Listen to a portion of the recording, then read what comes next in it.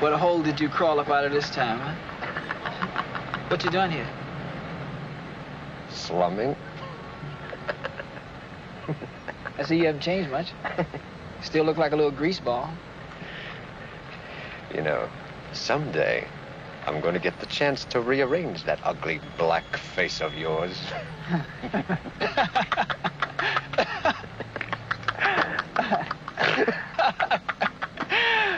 oh, not if I see you first. you little ugly dwarf. The fat man wants to see you. Now. Tell the fat man, and I say go play with himself.